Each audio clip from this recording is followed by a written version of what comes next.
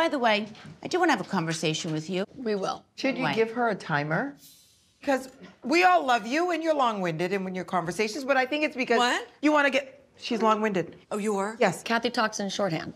I love a good shorthand. Kathy will say, I'm gonna tell you one thing. I was talking to, you know, and I was like, you know what I mean? And I thought to myself, you know what I'm saying? And I was ready to, I'm telling you. So, I just said, you know what I'm saying? I'm not gonna do it, You know Kyle. what I mean. And I'm like, who the hell are we talking about? Sometimes I do talk in code. I made something very clear to uh, the powers that be. Okay, got it. Oh, I just said, I personally, Oh, you do what you want. but you weren't. Right. Okay, got it. It's better to allude to the situation because you never know who's listening.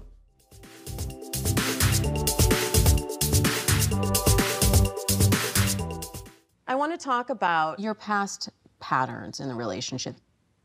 I think the way I show up when I'm dating, I think I have to stop leading with my career. Yeah, your stuff. I think sometimes guys would probably want me to be more needy, and I'm not. I think that's a thing.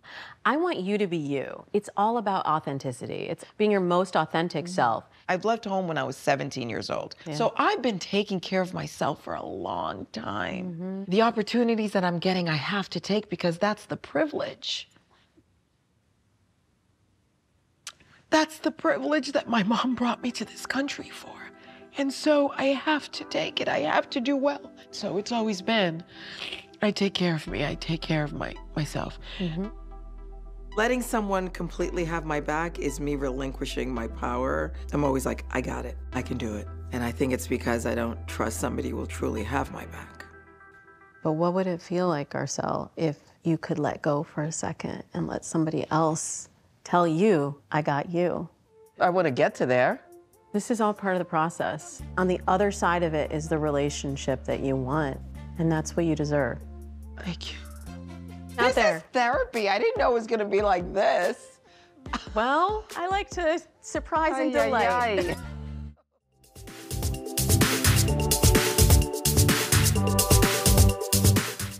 Back in five minutes. Son, what's up? I want to talk to you. What's up?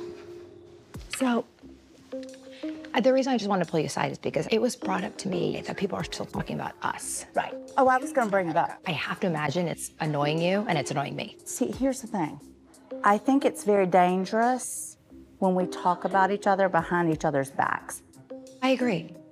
Like, I had promised you and you promised me we wouldn't talk about this. You didn't do your promise. No, people keep bringing it up to me. Can I ask what happened? Okay, so Sutton came in my room. I was like butt naked, and then I dropped to the ground. Like, it was really creepy. What's happening? Sutton, she came to my room. I was naked, and she was like stood there and said some kind of word behind me. I would love to never talk about this again, but everyone keeps asking me about it, so I have to respond. If she didn't want to talk about it, she wouldn't talk about it. I, you know, I don't want to fight. Agreed. Can you hold us for one second while I don't have another Try to fix a couple of things. Sofitel moment? Erika, sorry, but um, Kyle needs some underwear. I don't have any. oh! oh! Your tweeter is escaping. Listen, I Listen, it has not, I want to see it. but it's about to.